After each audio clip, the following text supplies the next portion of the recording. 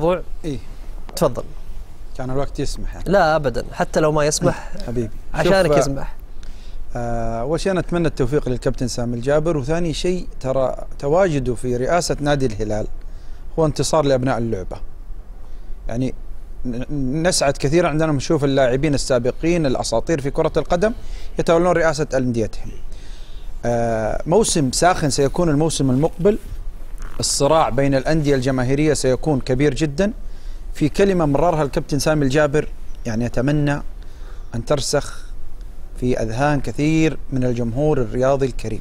اللي هي سامي الجابر قال كلمة كثير من الإعلام الرياضي كان يرددها لكن للأسف بعض الجمهور ما يبغى يفهمها.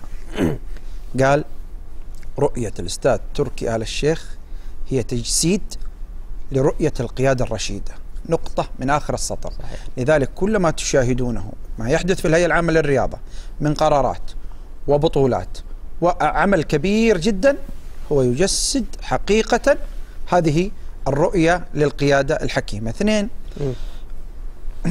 أنا عندي تساؤل وسألته قبل أكثر من شهر وأتمنى أن أجد له إجابة في النصر تكليف الأستاذ سعود بن سويلم الذي بدأ فعليا بالعمل على عودة العالم إلى المنافسة على الألقاب. في الاتحاد اللي نسمع عن صراعات كثيرة في السنوات الماضية تتقدم شخصية بحجم نواف المقيرن.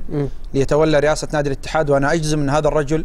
كان طوال الأيام والأسابيع الماضية يعمل من أجل اتحاد مختلف في الموسم المقبل. في الهلال اليوم إحنا نشوف تكليف الكابتن سامي الجابر. في الشباب شاهدنا انتخاب الأستاذ أحمد العقيل واليوم الإدارة الشبابية تصدر بيان تحكي عن واقع رؤيتها للموسم المقبل. سؤالي ما زال عالقا ماذا عن رئاسة النادي الأهلي في الموسم المقبل؟